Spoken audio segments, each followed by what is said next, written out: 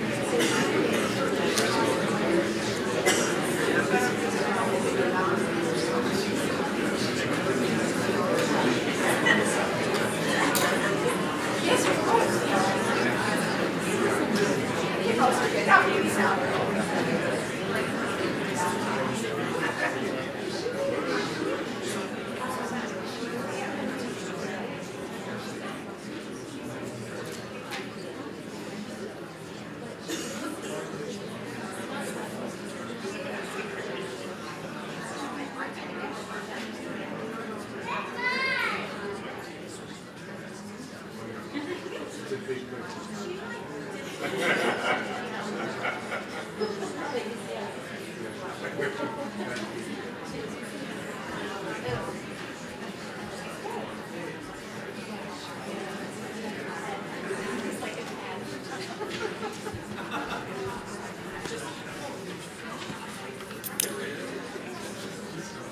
afternoon, everyone. Almost evening, almost cocktail time, but not quite.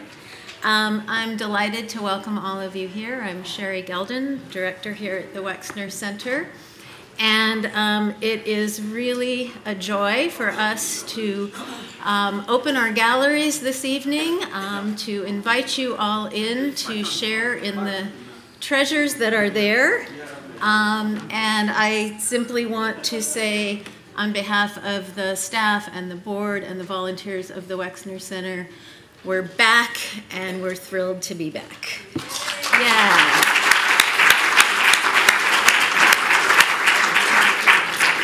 Um, and to that point, I also just want to express my thanks once again to everyone throughout the community, our friends and colleagues in the cultural sphere, our patrons and members and friends from across Columbus and well beyond.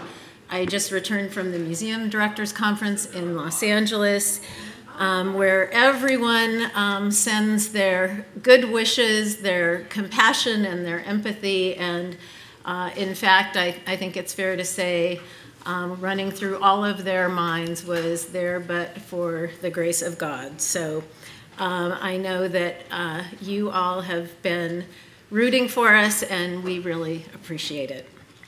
Uh, but on to this evening. We couldn't be more thrilled to present Noah Purifoy Junk Dada to Columbus audiences in what will be uh, and is its only venue outside of Los Angeles, where um, the show is organized by the Los Angeles County Museum of Art.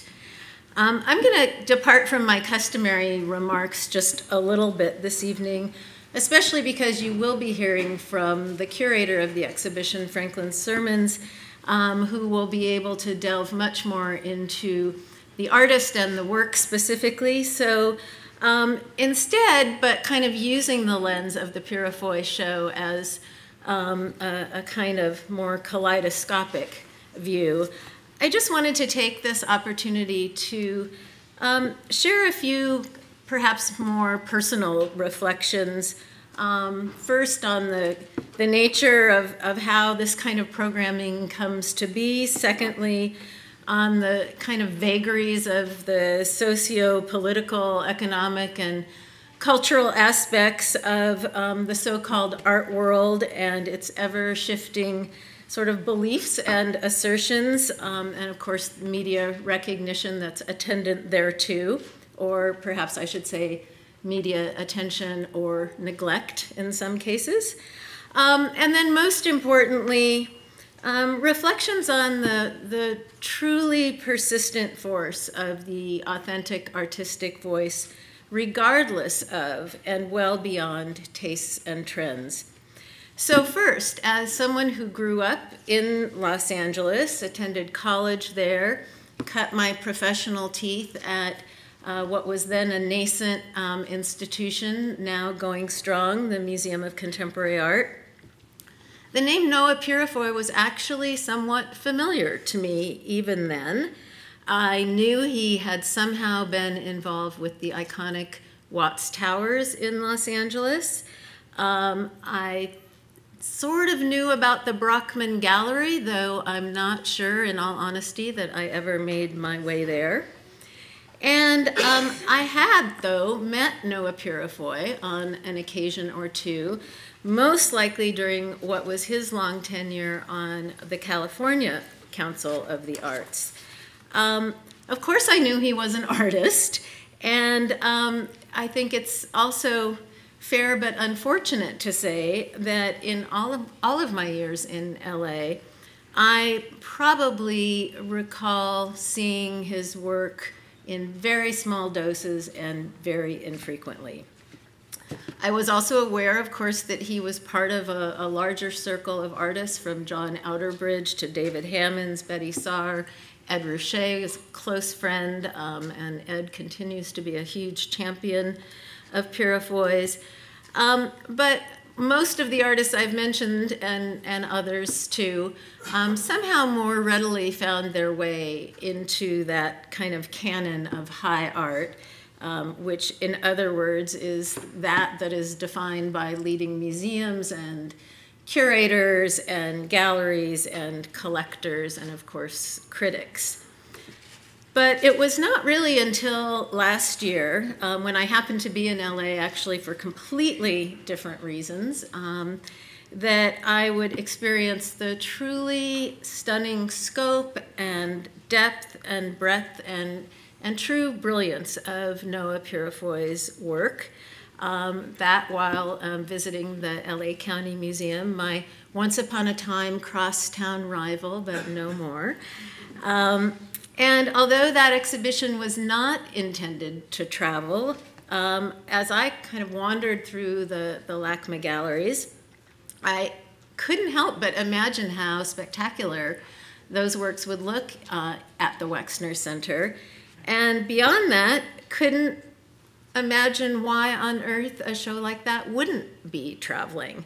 Um, Michael Govan, who is a longtime friend and colleague, the director at LACMA, was initially surprised by my inquiry. I think even he imagined um, that Noah Purifoy's work might have very limited appeal outside of the confines of, of Los Angeles, and happily we were able to persuade him otherwise. So that kind of brings me to my second point, which is an ever pervasive conundrum, really, about how we in the museum field um, go about, you know, sort of assigning value, as it were, or bestowing recognition, um, how uh, we have been inexplicably slow to embrace some artists and their practices, even while championing others um, who are working in very similar modes and sometimes with similar intentions and driven by similar social forces. I think there has been a little bit of reluctance over the years to um, immediately embrace those artists who are also deeply invested in social practices, although, again, there are exceptions. And certainly that's true, or has been true, um, of artists of color as well. This is, of course, a far too complex subject and really an intransigent one to address this evening, but um, it nonetheless has been kind of um, roiling through my brain as we have been putting this exhibition together. And I think it's fair to say that the trajectory of, of Purifoy's life and work and reputation um, is certainly ripe for that kind of investigation. But let's instead turn to my third reflection, which um, is perhaps an overly optimistic notion that the authentic creative voice will prevail despite uh, trends and sometimes even countervailing forces. And I think in the case of, of Noah Purifoy, it's simply uncontestable.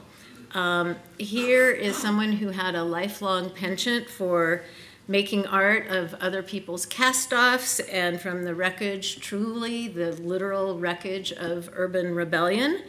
Um, and both mined and made art history as he went along. Um, I think you'll see as you wander through the galleries here that whether he was inhaling and absorbing uh, the fumes of Marcel Duchamp or Kurt Schwitters or uh, Joseph Cornell and, and other Dadaist predecessors, whether he was subconsciously at that, at that time sort of channeling um, the Bay Area funk artists like Bruce Conner or Jay DeFeo. Uh, and I would even say, perhaps, whether consciously or not, um, referencing the combines of, of Robert Rauschenberg, one can't possibly deem Noah Purifoy uh, derivative of anyone. He was not a copyist, um, he was not a pilferer or a pirate. Um, he was sui generis, completely unique um, incredibly artful in everything he touched, as you'll see. And he took an approach to assemblage that uh, I think, um, as this exhibition very beautifully shows, um, is, is finally and um, belatedly being recognized for the artistic achievement that it is. As always, um, the entire WEX staff has played a huge part in realizing everything that you will experience this evening and throughout the exhibition. So if you will allow me to just express my thanks particularly um, to our curator at large, Bill Horrigan, and our newly minted, though um, long-standing um, WEX veteran, Megan Kavanaugh, who is now our Director of Exhibitions Management. Um, they've done an extraordinary job working in close collaboration um, in this case with Dave Dickus, our senior preparator, uh, Mark Van Fleet, our registrar, and Lucy Zimmerman, curatorial assistant. I think and hope at least that you will agree that they've done a beautiful job. Our director of creative services, Erica Anderson, uh, designer, senior designer now, Brandon Baylog, editor Ryan Schaefer, and um, their entire crew worked their magic on all of the printed graphics, and of course, um, Shelley Casto and her team of educators are helping to bring this exhibition to further life um, and amplification through not only um, the augmented reality app that you will encounter in the galleries on um, iPad minis, um, but also through uh, various talks that will take place throughout the exhibition. Um, I also want to thank, as always, um, my Deputy Director Jack Jackson for his partnership in so many things. Our Director of Patron Services, uh, newly minted and truly new to the Wexner Center, so um, this is her first foray for a Wexner opening, and she's already doing brilliantly. Um, Katie Lux, our Director of Development, uh, Christy Schettinger, and Director of Marketing and Communications, Arthur Rao Lindsay who will absolutely, uh, he will be furious if I don't remind you all, or actually tell you all for the first time, uh, that we at the WEX have finally joined the wave of museums around the world, and we are allowing photography in our galleries, abiding, of course. yes, go ahead, applaud, applaud. Um, we do need, of course, to abide by the restrictions of lenders because, contrary to most museums who have a permanent collection, everything you see in the Wexner galleries is borrowed from a lender, whether it's a museum, um, a private collector, a foundation. And so, in those instances where the lenders have imposed photography restrictions, it's indicated on the labels. We ask that you respect um, those restrictions, but otherwise, have at it, Facebook, tweet, Instagram, and Viber away. I bet my staff didn't know I knew about Viber. Anyway, that's what happens when you hang out with 20 year olds. So, let me also just take a moment to thank our exhibition sponsors this evening. Um, the National Endowments for the Arts for as um, a principal sponsor for um, the County Museum's organization of the show. And uh, here in Columbus, uh, Cardinal Health Foundation, Puffin West, Alex and Renee Shoemate, who I believe are here with us somewhere, right there in front of my very eyes, and also Donna and Larry James. But now to provide the true expert perspective on Noah Purifoy, I am very pleased to bring to the stage um, a relatively new colleague, someone who's been in the museum field for a, a, long time now, but who I have only just encountered personally for the first time. Uh, Franklin Sirmans began his museum career as a curatorial assistant at MoMA PS1, then moved on to the renowned Menil Collection in Houston, Texas, where he was the curator of modern and contemporary art. Subsequently appointed at the Los Angeles County Museum of Art as department head and curator of contemporary art, um, where he, of course, curated the Purifoy exhibition, but during his tenure there was also tapped uh, to be, I think, the third curator of the New Orleans uh, Biennial Prospect, it was called, um, in, I think that was in 2014. And just last fall, as he was putting the finishing touches on the Purifoy show, oh, I think I moved his, sorry. Uh, I'm almost done. Anyway, as he was putting the finishing touches on the Purifoy show, he was tapped to be the new director of the Perez Art Museum in Miami. So I am doubly um, delighted and honored to welcome him here today as a fellow director. Franklin.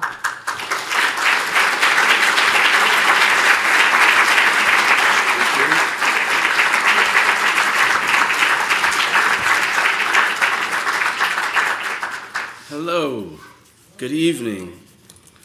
Um, as Sherry said, we'll get to the drinks soon.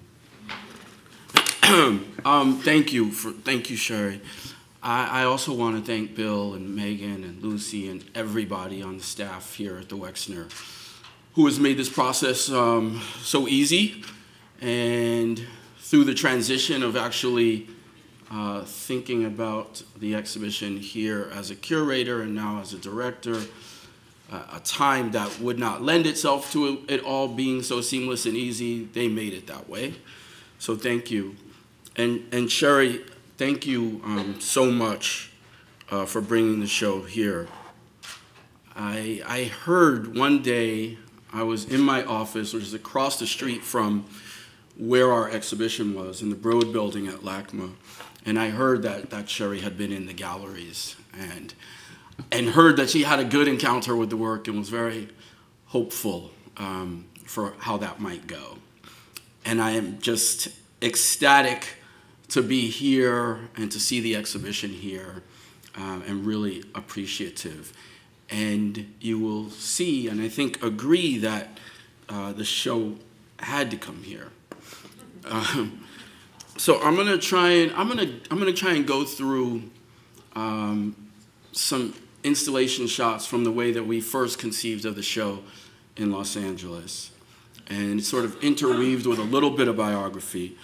Try and run through these images and then hopefully be able to have a little bit of a conversation. Um, it is uh, always such a treat to think of and to see the ways in which exhibitions change in different places. And um, I just I, I want to point again to Bill for the installation here, which is phenomenal. Um, it makes me it makes me see things in completely different ways, and to even think about Purifoy in different ways. So I, I would say that um, one of the the reasons why the exhibition came to fruition and picking up, I think, a little bit on that idea um, that Sherry raised of of there being um, a new reflection on, on a body of work or on uh, artists who are overlooked is that in many ways, uh, although you know Michael Govan, our director at LACMA, was somebody who uh, knew of the work and had a particularly uh, interesting relationship to the work, uh, there were a lot of people, I think, in my conversations where if you didn't have the experience of being in Los Angeles, you didn't necessarily know the work.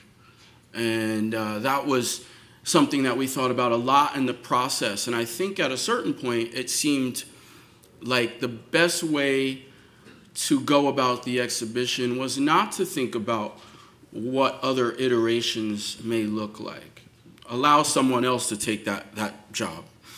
Um, and just to think about our initial uh, exhibition installation.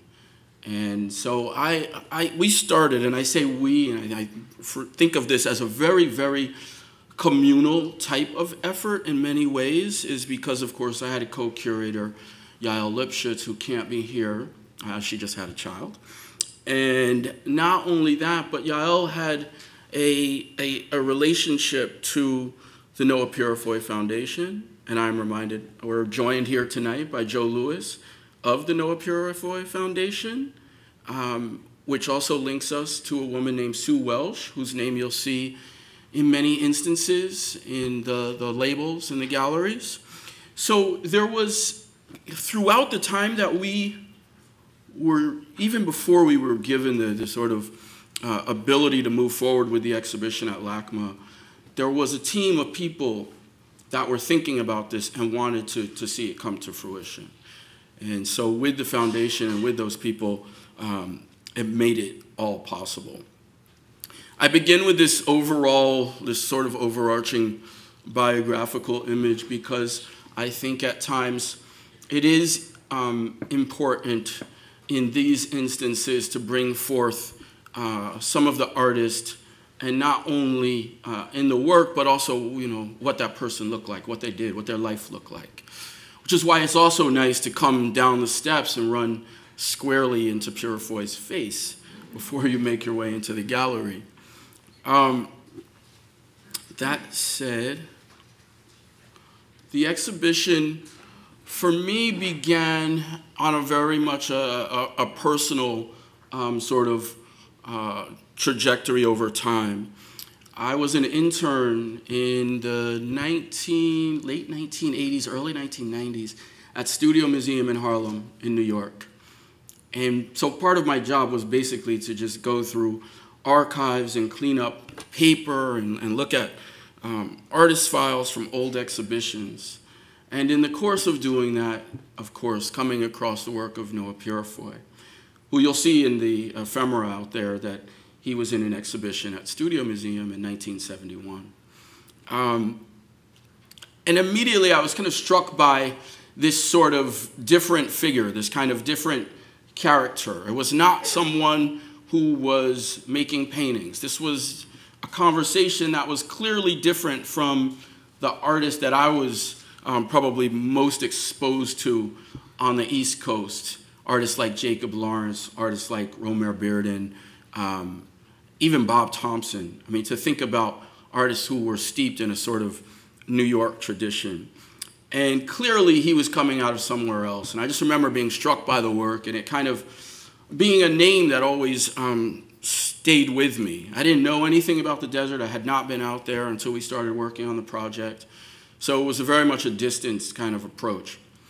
My distance shrunk when I went to the Menil collection in Houston in 2006. Um, and there you encounter the history of the curator Walter Hopps, who was the founding director of the Menil Collection in 1987. And Walter grew up in, in Los Angeles. He had a very close relationship to uh, the Arensberg family, um, who some of you will know were one of the biggest collectors of of modernism and, and European modernism uh, in this country. Most of their work was so far out, even in the 1940s for Los Angeles, that no curator could convince anybody to get behind the work and actually keep it in LA. So most of it went to the Philadelphia Museum of Art. And I'm thinking of artists like Kurt Schwitters, artists like Marcel Duchamp. And because Walter Hopps had this relationship with them, he was one of the first organizers of their work in this country. So, as a curator at the Pasadena Museum of Art in 1962, he did an exhibition with Marcel Duchamp, first big show that there was of his work here. Uh, in 1964, he did a big exhibition on Kurt Schwitters. Uh, you, you, you, you can think about our title of Junk Dada and to think about Schwitters and the relationship to Dadaism, to Surrealism.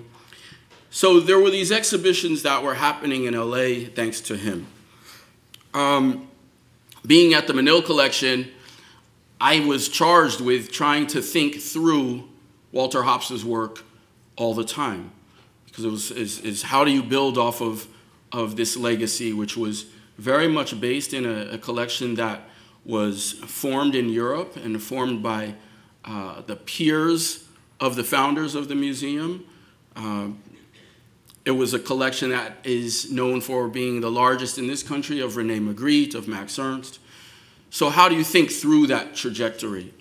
And one of the ways that Walter did was that he felt like there was something that he always had to add on to that conversation. So, thinking about an artist who's based in Dadaism and Surrealism, I think he was very easy for him to see the relationships in an artist like Noah Purifoy, somebody who's using found material, somebody who's using detritus, somebody who's using and thinking about art not only as an art object, but as a tool for a much larger discussion. Um, so, so there was work within the collection, and there was this sort of history to be mined. Um, another reason why we are here is because of the Getty Initiative Pacific Standard Time. And they're coming up on the next iteration in 2017, uh, which will be dedicated to, to looking at Latin America vis-a-vis uh, Southern California. The first one was one in which the work happens, the kind of work that, that, that was alluded to in thinking about shining a new light on certain artists or taking a look back at certain artists. And so that exhibition set out to be a survey between 1940 and 1970, and in effect brought to light a lot of artists who were not considered a part of that conversation all the time. Um, Noah Purifoy appeared in something like five or six different exhibitions throughout the scope of that, that entire project. And one of them was a show called Now Dig This, which was done by uh, the curator Kelly Jones. And in Kelly Jones's exhibition, she decided to look very specifically at a history that grew up around, say, Brockman Gallery, one that was uh, important in the 1960s, particularly to artists of color. And Purifoy was a big, big, big part of that show. Uh, she gave me the opportunity to write about um, Walter Hopps in that catalog and to think about certain linkages between his work and the work of Purifoy. So that is kind of the, an entry point for myself. Uh, this is an installation shot from uh, her exhibition where you see work, uh, one piece in the back that you have here in the galleries uh, on the right, which is owned by uh, John Outterbridge, and then you also have work in the foreground that is made by John Outterbridge. This image here is from an exhibition that Yael did at the gallery L&M. And you'll see two pieces on the right side, just before the door, uh, hung high, that are now in the galleries here. And uh, she included these works in a group exhibition that was about Ray Bradbury and his influence on this part of Venice, California. Um, so it was a way of, I think, talking about Purifoy in a completely different context than it, you know, than it would be, say, in Pacific Standard Time with the backdrop of Los Angeles. Now dig this with the backdrop of artists of color in Los Angeles, but one that sort of plucked them out and put them into a bigger uh, sphere. And, and so that was the, the, the, coming together for me and working with Yael was that we were both coming from very different places. I, unlike Sherry, unlike Joe, I never met Noah Purifoy. It was always this sort of distanced um, approach to the work, and really, as you see, coming to it almost through uh, the eyes of another curator. but my co-curator had a special relationship uh, and knew Purifoy and interviewed him, did her graduate thesis on him at UCLA. So had was coming with this this wealth of, of information and knowledge that was um, incredible and I think quite complimentary. So working together is is how this exhibition came about, and I think um, it could have been done in different ways by each of us individually, but I think we got the most out of it um, together. Um, thinking about biography, thinking about, and it comes out in the work, it comes out in many ways, um, dealing with an artist who was born in Alabama in 1917, so very much a segregated Alabama. Um, he, he kind of had two migrations in a way, uh, going from uh, Alabama to Ohio as a 12 year old, which was the other reason why I was like, this exhibition must come here. Uh, you know, his, his family moved there in 1929. Um, he returned to Cleveland as a social worker in the late 40s after his uh, experiences in school, after obtaining uh, a degree in social work at Alabama State. Um, after being in uh, the Navy and uh, seeing Los Angeles as he was based on the Pacific. But we're talking about someone who had, I think, a wealth of experiences, uh, especially for someone at that time. And coming to Los Angeles, uh, after working as a social worker in Cleveland, uh, Purifoy went to LA in 1954 and, and, and graduated from Chouinard in 1956. Um, his, I think there's this conversation and this push-pull. There, there are a lot of different, I think, binaries within the work. Um, and going back to think about the title of Junk Dada is one big one, obviously. Uh, referencing a childhood in Alabama. And I think for me, thinking about reference points to traditions of art making in this country that are uh, specific to the American South. Um, to think about the ways in which Purifoy may have encountered quote unquote visual art as a youth, not in the museum that he would not have been allowed to go to, but in seeing craft, in seeing um, probably quilting, which is something that I think you see very readily in the work. There is a history around working with wood that is uh, something that he would have been exposed to and I believe learned a lot from. And then, of course, the, the reference to Dada and, and to that, that other past that he studied as a student in Los Angeles. Um, after graduating and in the 50s, and not necessarily being a part of, of, of the group that would become so well known at the, the Ferus Art Gallery, people like Robert Irwin, Ken Price, Ed Kienholz, um, uh, we could go on. Uh, he, he was not a part of that conversation. He was not a part of it aesthetically. He was not a part of it uh, in, any, in any way.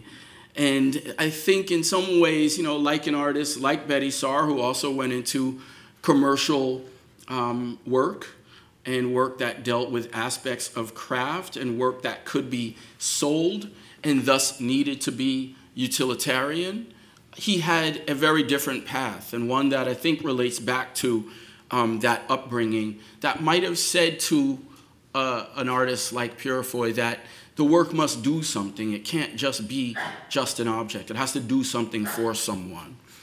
And so he made these objects like that, that hi-fi cabinet that you see there, and like some of the, the works in the uh, bottom image, and was part of an interior design team and was able to make a living uh, doing that while making art. Um, jumping into our installation, we began with, I think, two entry points. And I should say that uh, in a way, this is the third iteration of the exhibition because we started off with a large exhibition that covered the entire third floor of the Broad uh, Contemporary Art Museum at LACMA, which was approximately 18,000 feet, and way bigger than, than any traveling exhibition would be.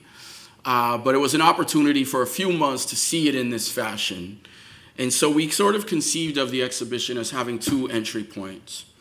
And one is, uh, I think, beautifully picked up um, here, where you have a chronological beginning with the work from 1958. And I'm not going to worry that this isn't the greatest image because you have the piece right there. But at the wooden headboard I'm thinking of on the right.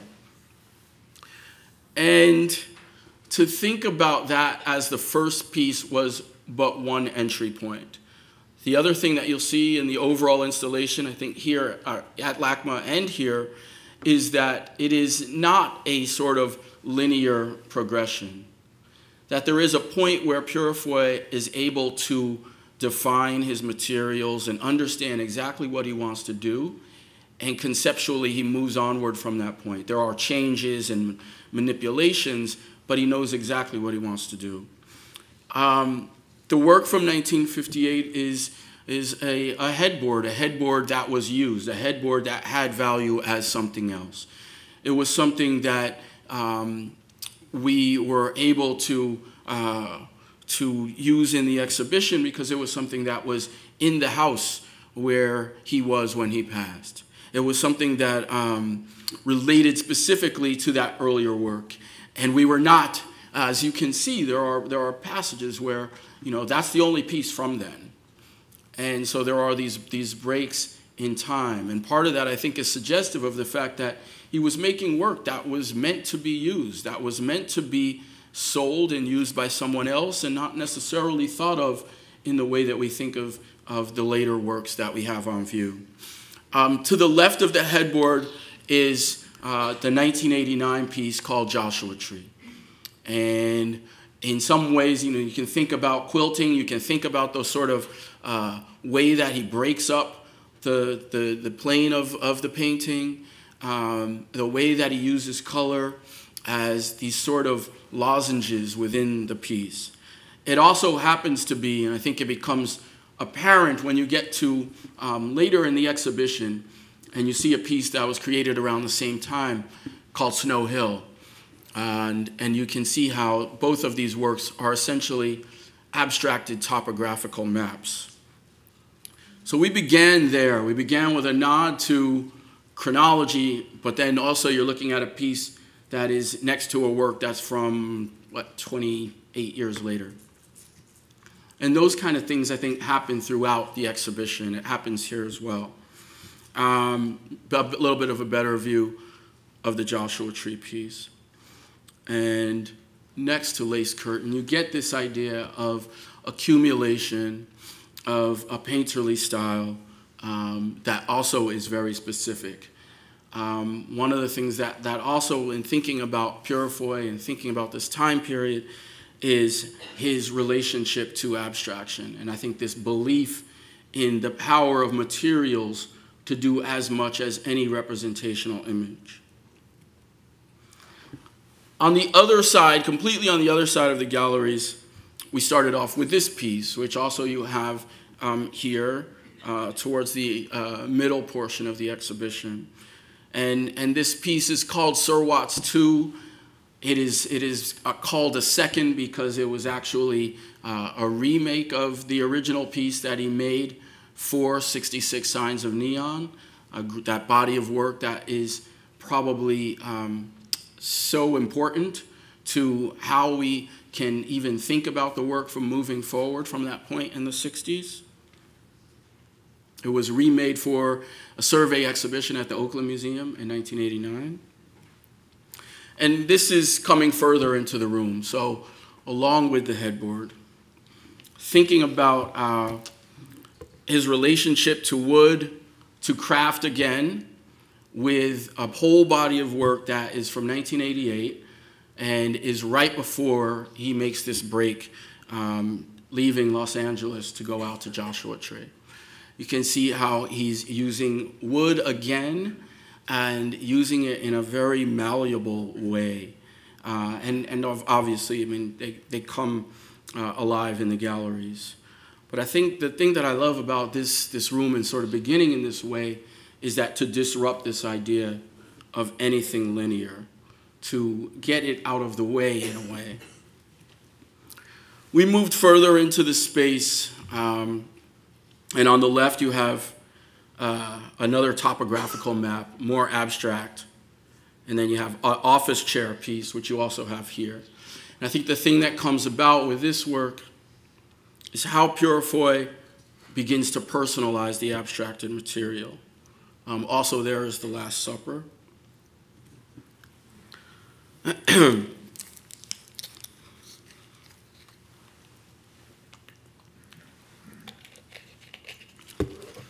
One of the things that we emphasize later is this relationship to music, a relationship to popular culture and to um, sound.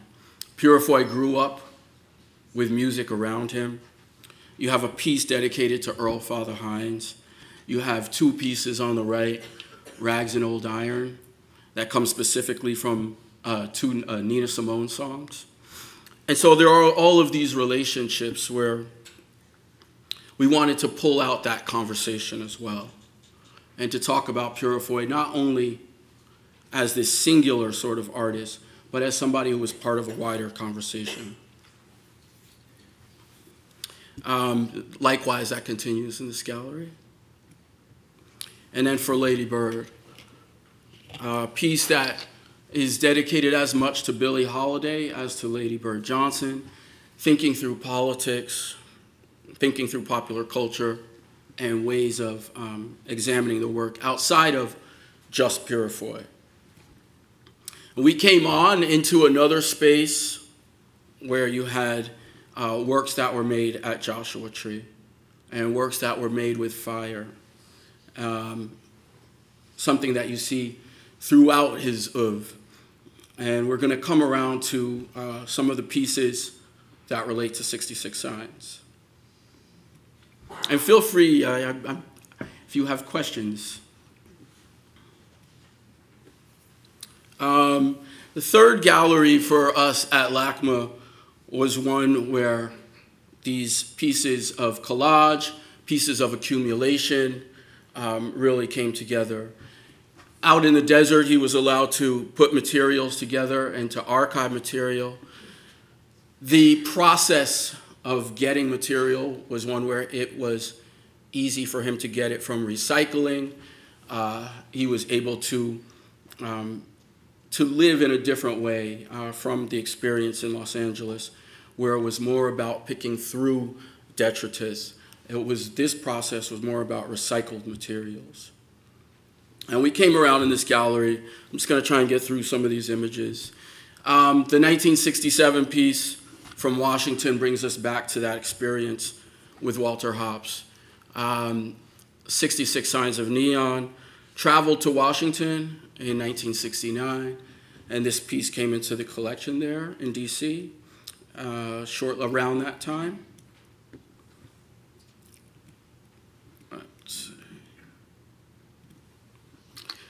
Um, one of the things in thinking through the trajectory is the influence of Watts Towers, and you've, it's done so well uh, in the installation here, where you have that photo mural on your way into the second gallery. One of the things that I think is, you know, in thinking about that vernacular history of Alabama, mixed with somebody who went to school at Chouinard, somebody who was in conversation with Walter Hopps, is that in 1964, uh, Purifoy becomes the director of the Watts Towers Art Center. So he's working in the shadow of Simon Rodia's Watts Towers every single day. He's looking at the accumulation of bottle caps, of shards of glass that Rodia used to make the towers.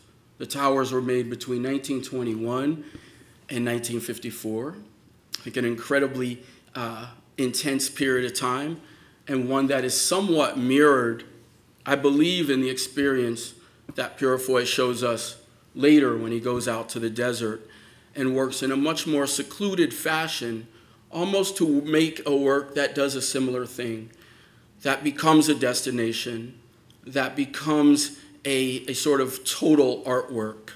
And I think that harks back to you know, that relationship to Dadaism, that relationship to thinking about the Bauhaus, that again fits with his relationship to vernacular art, that the art must do something. So Rodia referred to uh, the towers as uh, our place, and, and there was always this sort of communal or collective uh, directive um, to that space. So for Purifoy, social worker, trained in school, uh, to be able to have the aesthetic, I think, of the towers, and then to think about the sort of marriage. And it's, it's, it's something that, um, you know, comes about in bits and pieces and looking at the work. But that marriage of social work and wanting to be an artist who could make work that would fit into a wider conversation was something that was always there and was something that he always dealt with. Um, I think for us, in many ways, it was something that he, he, I'm not so sure that there was ever a point in time where he would say that he successfully dealt with that conundrum. Um, wanting to help people and wanting to use art as a tool to have that conversation, but at the same time, I think desiring to be able to just make work in a world where perhaps it wasn't so necessary for him to do all of the other things. And this happens um, in a period of time when we're talking about civil rights, when we're talking about uh, all of these different changes uh, in this country. Purifoy remembering having a very acute sense of race, of civil rights coming from Alabama, um, leaving Alabama, being in Ohio, and then being in Los Angeles, and being very aware of how people are treating each other. Um, of course, so in 1964, teaching kids, as you see here, um, in ever other reference points to the idea of the towers and the art center being this place where people come together, where art sparks conversation where it might lead to uh, something better. Um, but, of course, he's there at the Watts Towers in 1965 when the Watts Rebellion happens. So he's watching all of this from that standpoint and sees the destruction and I think is, is in a way um, disappointed uh, or beyond disappointment, and, and I think also sort of goes toward uh, decreasing his sort of optimism around the power of art and what art can do. So, in the years around that time and immediately after, he turns much more towards a more activist um, practice, which leads us to uh, to two specific things that happened in that period. I think there's the arts and education aspect, then there is the reaction to Watts, uh, specifically in Signs of Neon, and then five, sort of five or six years later, we get to uh, an exhibition that he created at the Brockman Gallery in 1971, which there are these photographs that are, are on the wall on the right, which we see better here.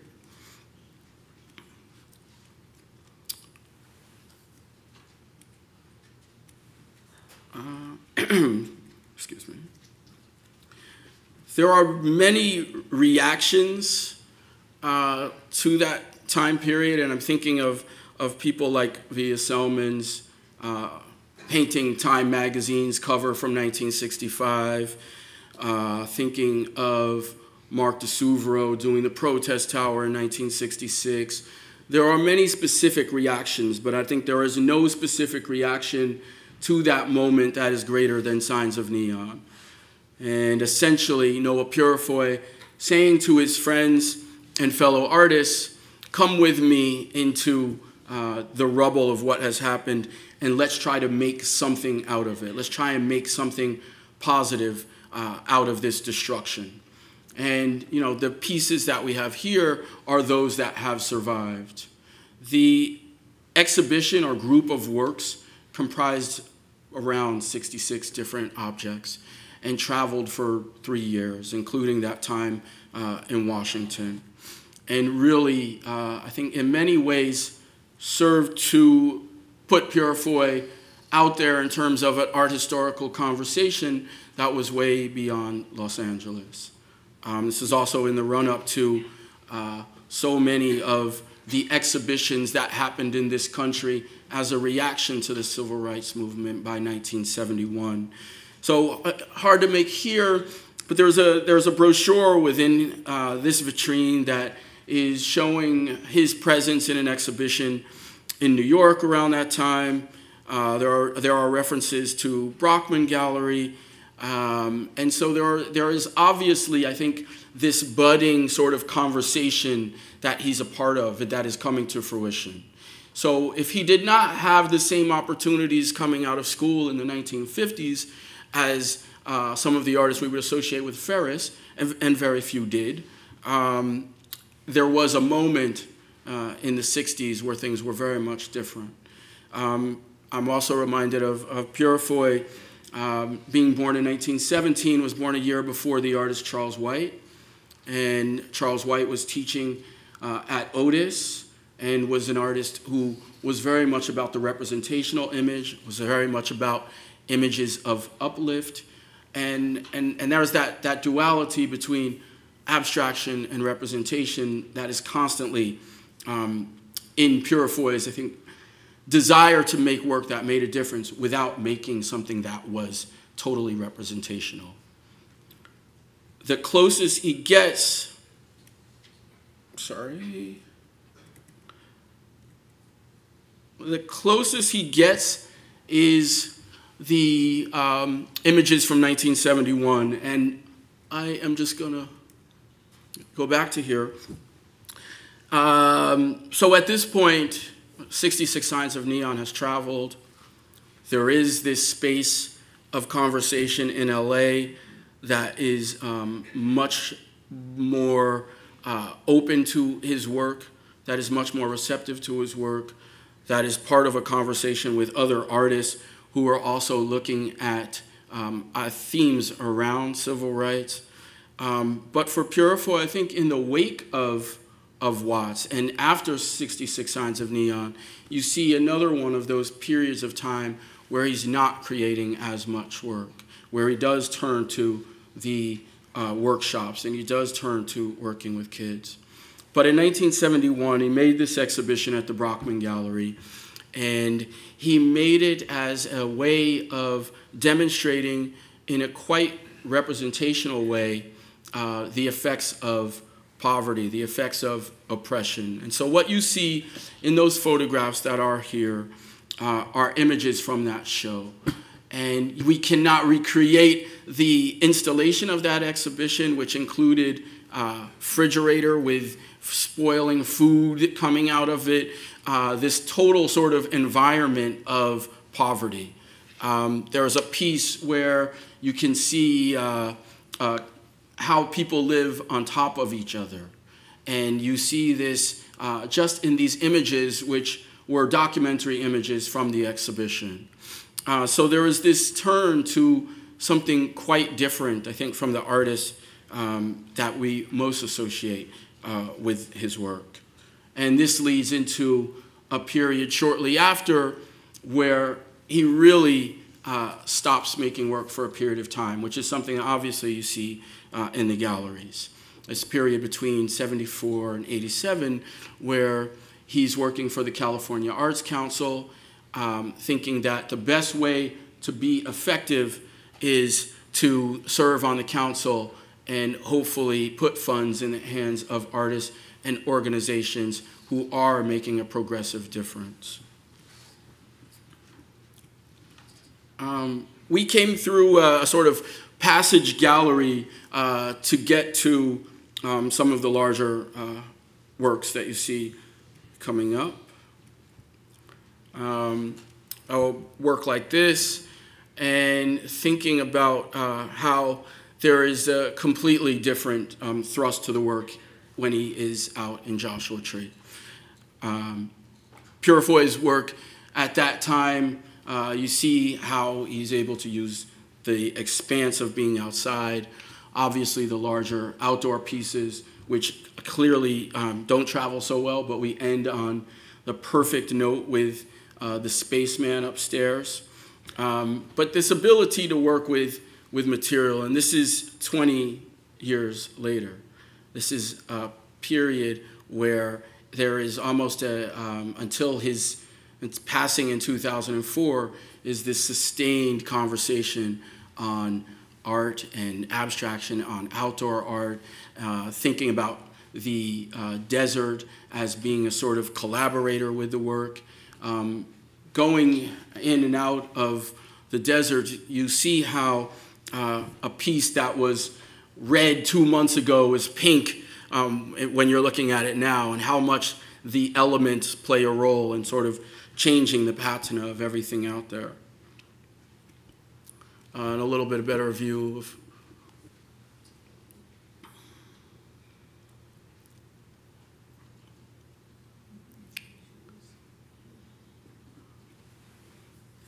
skis in the desert.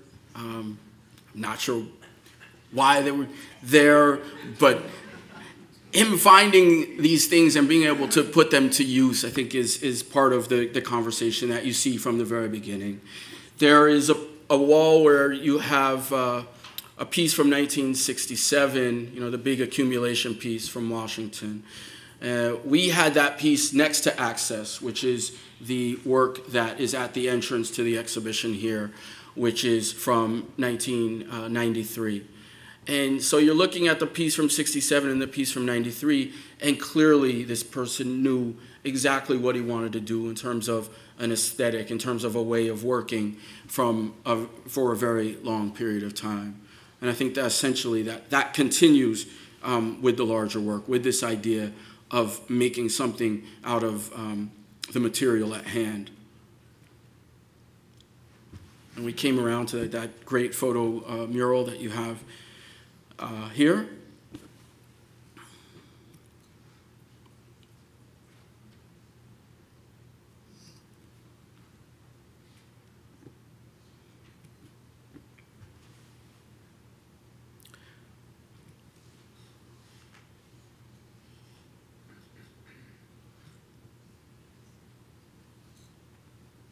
This is a piece called For the Little People.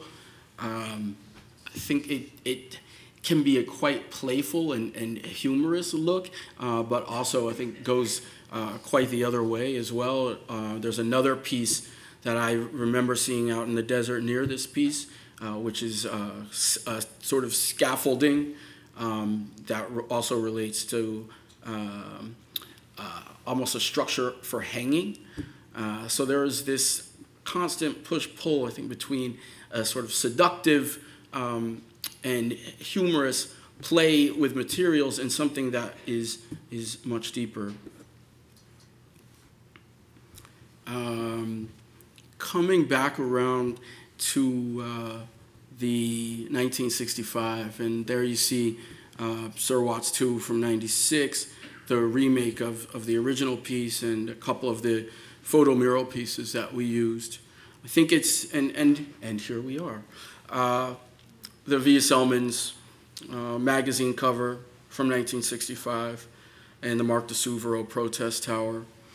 Um, Celmins an artist who was making work and, and studying at UCLA in the same period and of course known for much more representational images and also someone who I think dealt with uh, not being um, not having a gallery system so receptive to her as a woman at that time as she, she would have liked. And of course, Vija ends up going to New York City uh, and staying there rather than, um, that, rather than being one of those artists who continues to be associated with Los Angeles. Um, the di Suvero also reminiscent uh, of that moment. And, and we sort of in a way, ended or created another beginning with um, the Room of Works from 66 Signs of Neon. It's so nice to, like, you can see how they're in this very confined space here. Uh, it's so nice to be able to see them in a more open way upstairs and, and um, to see the, the, the sort of way that they interact more with the other works from, from much later. We did not have that at all, obviously. Um, I think that interesting thing for me within those spaces is how you see three works that are on the pedestals uh, with the plastic, with the plexi boxes, and how much they are also reflective of a conversation that was happening in Los Angeles around that time with artists like Fred Eversley, DeWain Valentine, uh, Robert Irwin, who are, are much more associated with what would be called light and space, and how plastics and the aerospace industry really led to uh, an aesthetic of, of visual art that was unique to Southern California. And so Purifoy was also a part of that conversation. I mean, there were these three pieces uh, between 64 and 65, and they were all acquired by uh, the same collector. And uh, it was a, a man in Pasadena who also had a reference point to uh, Alabama, to being in Tuskegee. And so there are these, these sort of um, these pockets of stories around um, the different works uh, that are in private collections. And obviously, with a show like this and dealing with so many uh, things that didn't exist from, from that period of time, uh, it was and has been so incredibly fascinating uh, dealing with well, how was the work disseminated? And, and that was one of the rare cases where three pieces went to one person who had this relationship. He actually worked for a, um, a large chemical company, so it was part of that uh, aesthetic. The work here is by Judson Powell, and, um, and behind it is a work by Debbie Brewer, so also suggestive of how much 66 Signs was a collaborative effort. It was never intended to be just um, Purifoy, but it was really about uh, people working together and, and better views of some of those great works. and,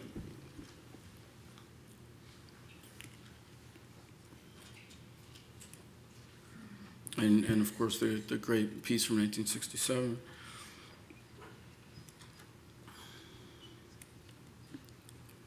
So we kind of ended there and had a couple of pieces um, outside. Obviously, being two hours from um, from the desert made that easy uh, in a way that it's not easy to truck things from Los Angeles to Ohio.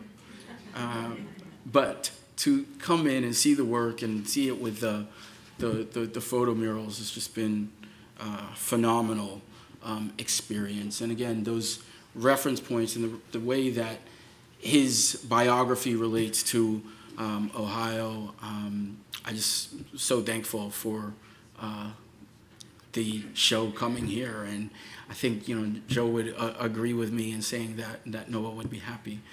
So I hope so, and thank you. Happy to take questions.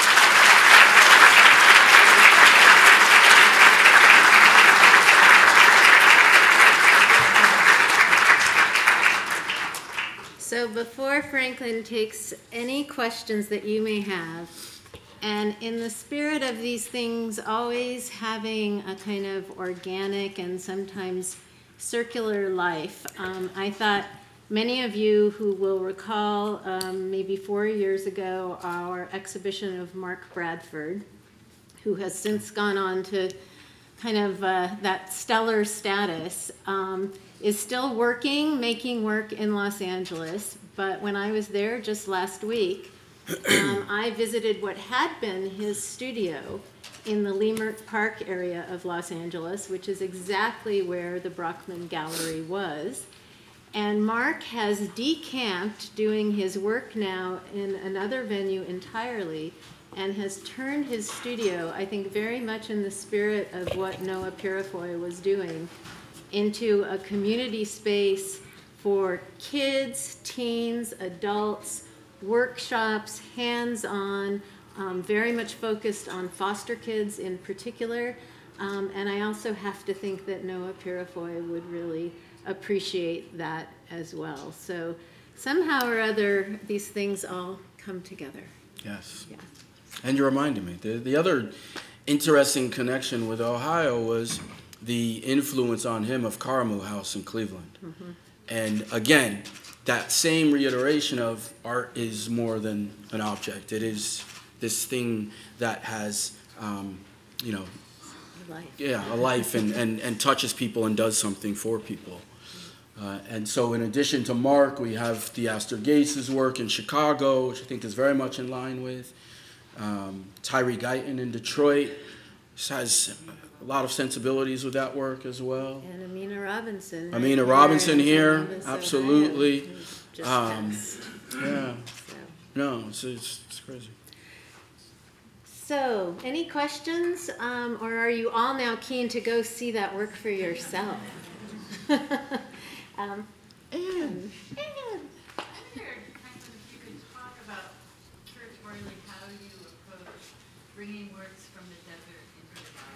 yeah, And the exhibition design, which has these plans with. yeah, like you- I did see the show in LA and really like Seattle. yeah, absolutely. But, um, they were made to be outside, just if you could address that. Absolutely. Hi, Ann. Um, we, uh, I had, I had, I went, I had a vision in my head from the very beginning of how that would work, only because I had a speci- very specific experience. There was a, a large sculpture by, um, by Max Ernst that was displayed at the Menil collection that used a sort of sandbox. And, and it was up there for about six months and I just I never I never forgot it and felt like aesthetically that was a good time. What you will also see here is that any of the works that live as um, in domestic settings uh, are on um, are on platforms. So we wanted to suggest that they had a life that was different from their life in the desert. Like the spaceman, for instance, would have been seen out there. I've seen images of it out there on the ground. But here it's displayed on a pedestal because it actually lives in someone's house on a pedestal. Um, likewise with uh, the ski piece. Uh, but that was a, it was an interesting conversation the whole way and exhibition design and are people going to track it through the galleries? Um, we actually used a, a spray material to fix the um, gravel material. And we also reflected it by using exactly the same material outside. Lástima. Pero es posible que le hayan dicho a él, you have to Franklin, thank you. Thank you.